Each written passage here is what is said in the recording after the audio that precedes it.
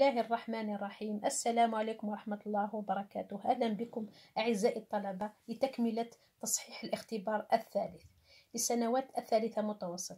إذا التمرين الرابع وصلنا للتمرين الرابع الذي يقول ABC مثلث قائم في A ومتساوي الساقين حيث AC يساوي, يساوي خمسة وAB يساوي خمسة سنتيمتر.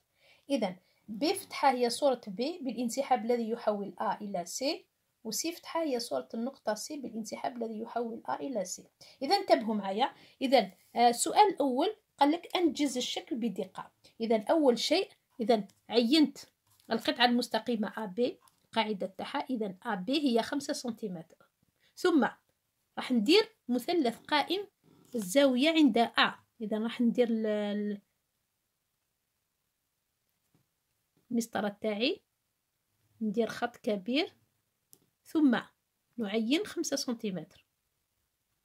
إذا هذه هي النقطة سي ثم أصل بين النقطتين. راح نضغط على القلم باش يبان لكم واضح في الشكل. ثم أصل بين النقطتين B و C. ثم آه واش ندير هنا زاوية قائمة في أ ثم واش قالك قالك ب فتحة هي صورة النقطة ب هي ب فتحة بالانسحاب الذي يحول أ إلى C يعني بالانسحاب الذي يزيح من أ إلى C إذا ما هي صورة أ هي نقطة C إذا انتبهوا معايا واش راح ندير. إذا المنحى لازم يكون اتجاه من أ إلى C يعني الاتجاه يكون آه إلى الأعلى. هكذا. يعني ما نست... لا نستطيع أن نحين بفتحة في الاتجاه لتحت يعني الأسفل. راح أتجه المنحى تاعي إلى الاتجاه الأعلى. إذا مش راح ندير؟ إذا أولا راح أعين المسافة بين أ و C هذه هي المسافة بين أ و C راح أنقلها على ب باش تمد لي النقطة ب فتحة اللي هي صورة ب إذا ندير قوس إذا بالتدقيق لازم يكون الشكل دقيق لازم ندير من المس... المسمار الوسمو ثم ندير قوس. ثم واش ندير؟ راح ندير مرة أخرى المسافة بين A و B اللي هي دائما خمسة سنتيمتر ثم أضعها على C ثم ندير نقطة التقاطع. لماذا؟ لأن في, في تعيين الصور في الانسحاب راح نعين متوازي الأضلاع. إذا أين هي النقطة C بفتحة تاعي إذا هذه هي بفتحة تاعي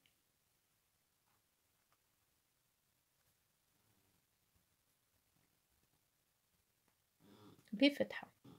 ثم انتقل إلى صورة C نفس الشيء. إذا صورة C بالانسحاب الذي يحول, يحول أ إلى C دائما في نفس كي تكون على يعني كي يكون هنا نقطة على الاتجاه اللي مدهولنا لازم نطول الخط.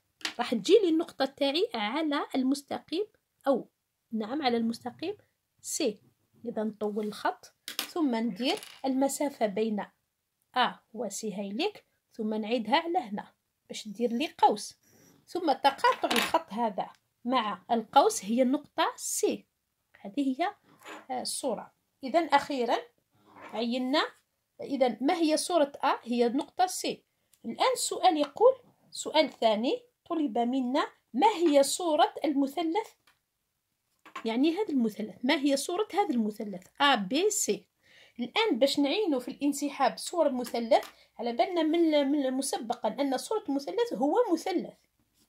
هذا كمعلومة ثم على بالي راح نلقى الصورة هي مثلث. ثم آه، باش نلقاو صورة أي شكل لازم نعينو صور الرؤوس تاعها بالانسحاب الذي طلب منا. إذا أولا عندي صورة ب هي بفتحة. إذا الرأس الأول هو بفتحة. الرأس الثاني الذي يحول أ إلى C إذا صورة أ هي C هوليك الرأس الثاني. ثم الرأس الثالث. إذا صورة سي فتحة هي صورة سي إذا ما علي إلا أن أصل بين الرؤوس ثلاثة باش يعين لي المثلث. إذا بين ب فتحة C ثم C فتحة و ب فتحة. إذا أخيرا خرج لي مثلث مثلث إذا صورة المثلث A B C هو المثلث. إذا هو المثلث C بفتحة C فتحة. إذا راح نلخص هذا في جمل. إذا كحل نموذجي نكتبو صورة المثلث A B C لدينا تكتبوا كامل المعلومات ب فتحة صورة ب وسي فتحة صورة سي وسي صورة أ بالانسحاب الذي يحول أ إلى C إذا صورة المثلث A B C آه، هي من المستحسن آه، تضع باريزون أ ما هو صورة أ؟ هي C ما هي صورة ب؟ هي ب فتحة وما هي صورة C هي C فتحة. donc بالترتيب نضع C ب فتحة C فتحة. ثم السؤال الثاني طلب منا حساب طول B C إذا انتبهوا معايا. طول B C ماذا يساوي؟ حنا رانا هنا في مثلث قائم الزاوية قائم الزاوية في أ عندنا A B يساوي خمسة سنتيمتر و A C يساوي خمسة سنتيمتر. إذا ما علينا إلا تطبيق نظرية فيثاغورس التي تقول أن مربع. إذا بي سي لدينا. إذا واش تولي لي بي سي مربع؟ ماذا يساوي؟ الوتر مربع. ماذا يساوي؟ مجموع الضلعين الآخرين. إذا يساوي أ بي مربع زائد أ سي مربع. نعوض إذا هذا يساوي خمسة مربع زائد خمسة مربع. وخمسة مربع زائد خمسة مربع ماذا يساوي؟ خمسة وعشرين زائد خمسة وعشرين اللي هو خمسون. إذا انتبهوا بي سي مربع يساوي خمسون. إذا بي سي ماذا يساوي؟ راح يساوي الجذر التربيعي لخمسون. بالآلة الحاسبة راح نجدها تساوي سبعة سنتيمتر بالتقريب. إذا ننطلق إلى السؤال آه الرابع. يقول بطريقتين مختلفتين أحسب جيب الزاوية ب. إذا كما نعلم أن جيب الزاوية ب هو المجاور يعني ب على الوتر. هذه الطريقة الأولى. أما الطريقة الثانية راح نبداو بالطريقة دي طريقة طريقة. إذا ركزوا معايا. إذا نكمل. عفوا آه ملاحظة فقط. قال استنتج الضلع بفتحة سي فتحة. إذا كما نعلم أن الانسحاب يحافظ على الأطوال إذا ب سي آه بفتحة هي صورة ب وسي فتحة هي صورة آه سي فتحة. إذا هنا ويساوي بفتحة سي فتحة. نفس الطول لأن الانسحاب تكتبه يحافظ على الأطوال نعود إلى جيب تمام آه، ب ب اللي هي الزاوية هذه.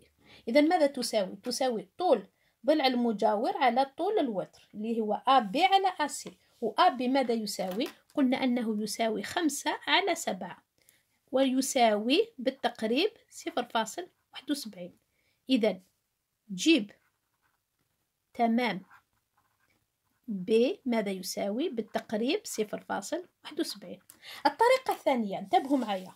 إذا الطريقة الثانية عندنا أ بي سي مثلث متساوي الساقين. ما معنى متساوي الساقين؟ يعني زوايا القاعدة متساويتين. يعني هنا إذا كانت ألفا هنا ثاني تكون ألفا. هذه الأولى. ثانيا عندنا الزاوية أ قائمة. إذا وعندنا مجموع الزوايا في مثلث ماذا تساوي؟ تساوي 180 درجة.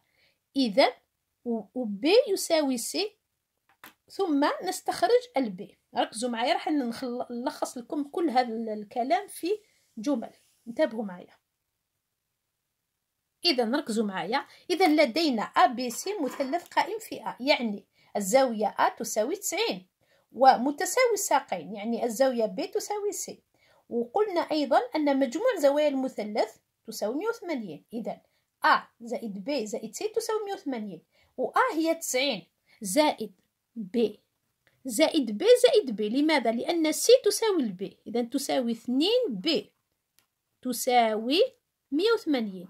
إذا نستخرج الب إذا اثنين ب ماذا تساوي؟ تساوي مية وثمانين ناقص تسعون. ومية وثمانين ناقص تسعين هي تسعين. إذا أخيرا ب تاعنا ماذا تساوي؟ نقسم تسعين على اثنين. واش تبقى لي؟ تبقى لي خمسة وربعين درجة. كما نعلم أن جيب تمام بالآلة الحاسبة تاع خمسة وربعين درجة تساوي بالتقريب صفر فاصل واحد وسبعين وهي النتيجة المتحصلة في الطريقة الأولى. وبهذا نكون عند نهاية هذا التمرين وأستودعكم الله الذي لا تضيع ودائعه وإلى الملتقى إن شاء الله في حل المسألة الإدماجية.